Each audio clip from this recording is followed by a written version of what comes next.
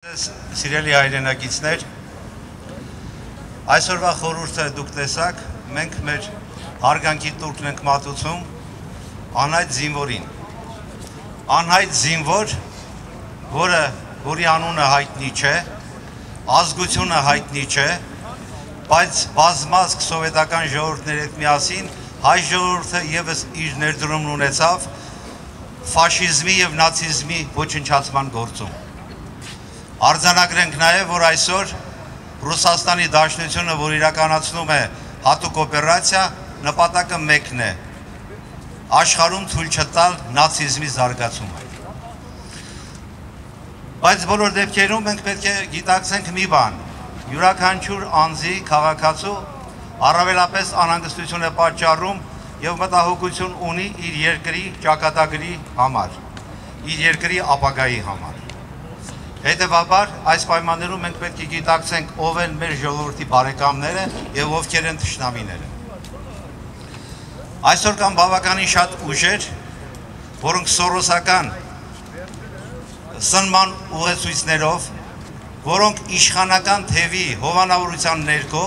փորձում են սեփ խրել հայ-ռուսական բարեկամության մեջ։ Չհասկանալով եւ չգիտակցելով, որ այսօր այսօր Հայաստանի համար միակ ռազմավարական եւ իրատեսական ռեալ հավատարիմ գործընկեր մնացել է Ռուսաստանի Դաշնությունը իդեմս իր խաղաղապահ ուժերի։ Ճիշտ ընկալելու եւ գիտակցելու համար թե ինչ դեր եւ նշանակություն ունի ռուսական խաղաղապահ ուժերի գոյությունն ու արկայությունը Արցախի տարածքում, մենք պետք է մի փոքր հետ նայենք եւ հասկանանք թե ինչ արեցին այս ապաշնոր իշխանությունները այս դավաճանական իրենց քաղաքականության արդյունքում եւ ուր հասցրեցին Հայաստան երկիրը Արցախի հետ միասին։ Նրանք անցած 4 տարիների ընթացքում կազմակերպեցին մեր հայոց բանակը, վարկաբեկեցին եկեղեցին, աղավաղեցին հայ գրականությունն ու պատմությունը։ Կազմակերպելով բանակը նրանք ամբողջությամբ ոչնչացրեցին այն մեր ունեցած հպարտությունը, որ մենք կոչվում ենք տարածաշրջանի ամենամարտունակ բանակ։ Պատկերացրեք այս իշխանությունների պլանավորված քաղաքականությունը բանակի կործանման, որ արդեն ավելի քան 2 ամիս է ճունենք բանակի շտաբի պետ գլխավոր։ Ճունենք հետախույզան ծառայության ղեկավար։ Ճունենք ռազմաարդյունաբերության կոմիտեի ղեկավար արդեն 2 տարի։ Սա ցույց է տալիս եւ կադրային բոլոր քաղաքականության վարած մեխանիզմները ցույց է տալիս, որ նրանց նպատակը Հայաստանը եւ Արցախը ապա ռազմականացնելն է։ Սա այն քաղաքականությունն է, որ միշտ իրականացրել են թուրքերը եւ ադրբեջանը, ադրբեջանցիները։ Նրանց դիտենք միասնական մեկ բառով թշնամի թուրք։ Եվ հիմա այս պայմաններում ամեն ինչ անում են, որպիսի ռուսական ուժերին եւս դուրս բերեն Հայաստանից Ես չեմ խորշի, խորշի օգտագործել այն բառերը, որոնք ուղված են առանձին կառույցների, որոնք աշխատում են ընդդեմ ռուսական ուժերի եւ կասեի նաեւ ընդդեմ հայոց ճակատագրի։ Նրանցից շատերը արդեն կարծիք ունեն, որ պետք է Ղարաբաղից ամբողջությամբ դուրս բերել խաղաղապահ ուժերը։ Եվ խաղաղապահ ուժերը դուրս բերելու պայմաններում ինչ են անում։ Ստացվում է, որ մեր Արցախի հայությանը ամբողջությամբ թողնում են առանց որևէ պաշտպանության որի պայմաններում թուրքերի վերջնական նպատակը կիրագործվի հայաթափել Արցախը, տիրանալ հայոց հողերին։ Խնդիրը ավելի հեռուն է գնում։ Մենք պետք է գիտակցենք դա ինչու՞մն է նաև կայանում։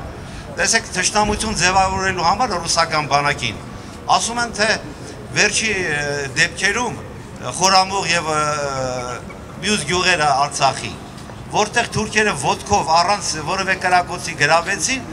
մեղադրում են թե իբր թե դա եղել է ռուսական խաղապահ ուժերի վերահսկողության ներքո։ Չգիտակցելով եւ չհասկանալով, թե խաղապահ ուժ եւ բանակ սահմանապահ բանակ ունենալը ինչ է նշանակում։ Դու պետք է ունենաս քո բանակը, քո սահմանապահ ուժերը պաշտպանես քո հայրենիքը։ Իսկ խաղապահ ուժի դերը նրանում է, որ թույլ չտա արճակատման։ Սրանք նման են այն անմեղ սունակ ու խղճուկ տան տիրոջ, որի տուն մտնում է թշնամին եւ գրավում իր սենյակներից մեկը եւ խնդրում է հարևանին արի ինձ ազատի թշնամու ձեռքից եւ ազատի իմ բնակարանը։ Մենք պետք է կարողանանք բնակարանի տիրոջ պես նայել մեր հայրենիքին, սեփական կյանքի գնով նայել։ Նրանք նույնիսկ մեղադրում են, որ նոյեմբերի 9-ի կապիտուլյոտ պայմանագիրը, որ ստորագրեց այս խղճուկ արարածը, վերջերս նկարները դրվել են նաև Եվրոպայի հանդիպման ժամանակ։ Մեղավոր է նաև Ռուսաստանը, իդեմ Ռուսաստանի նախագահ Վլադիմիր Պուտինը։ Բայց բոլորս լավ ենք հիշում, որ նոյեմբերի 9-ի պայմանագրով զորքերը պետք է կանգնեին այն դիրքերում, որի պահին կանգնած էին հենց պայմանագրի ժամանակ։ Ինչ ստացվեց ստացվեց, որ սա կատարելով թուրք ադրբեջանական տանդեմի պահանջները ամբողջությամբ զորքերը հետ քաշեց։ Զորքերը հետ քաշեց այնքան, մինչև որ բերեց նաև Հայաստանի տարածքից զորքերը հետ քաշեց։ Որի պայմաններում այսօր մենք ունենք 21 կիլոմետր Սյունիքի հատվածում, որ տրվել է ադրբեջանցիներին։ 41 կիլոմետր երկարությամբ եւ 2.5 ու 5 կիլոմետր խորությամբ մենք ունենք Գեղարքունիքի մարզում ճշտամի տիրապետության տակ։ Վերջին հաշվով պետք է հայ ժողովուրդը գիտակցի, որ սա արդեն վերջն է։ Մենք պետք է կարողանանք այդ վերջի դեմն առնել։ Հիմա, որպեսի մենք լիարժեք ընկալենք, թե ինչ դեր եւ նշանակություն ունի, ես նաեւ դες կոչ եմ անում այն մոտեցմանը, որ ով մտածում է, որ պետք է խաղաղապար ուժերը այս պահին դուրս բերել Արցախի տարածքից, դրան ես համարում եմ թշնամի։ Թշնամի, որովհետև դրանով թույլ է տալիս, որպեսի Ղարաբաղը ամբողջությամբ հանձնվի թշնամու։ Նոր նաև տեղեկացանք եւ չեմ ուզում շատ ավելի երկար ասել անձրև է գալիս, բայց խնդրում եմ նաև հաշվի առեք։ Մենք երկիր ենք կորցնում, անձրևը մեզ չի խանգարի։ Շակար չենք որ հալվենք։ Պետք է կարողանանք ամեն ինչին դիմակայել։ Ես տեղեկացա նաև, որ որոշակի ստոր խմբեր, ստոր բառը մեղմ եմ ասում։ Փարիզի հրապարակում ներկել են Արցախի դրոշը Արտաշատի տարածքից Պիղ ցոկու պես Արտաշատի տարածքից հապշտակել են Արցախի դրոշը։ Սրանց եթե չհամարել դավաճան թուրք, դա նշանակում է մենք ճիշտ չենք գնահատում եւ ճիշտ չենք պատկերացնում թուրք էակի տեսակը։ Մենք պետք է կարողանանք միակամ լինել եւ դուս վռնդել այս հակաիշխանական, այս հակապետական եւ դավաճանական իշխանություններին։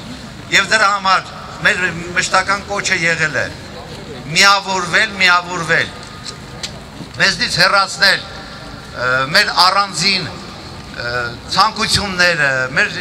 փոխադարձ հակագրանքը, պետք է միակամ լինել գոնե մեկ հարցում վրընդել այս ապա ազգային եւ դավաճանական իշխանություններին։ Շնորհակալ եմ։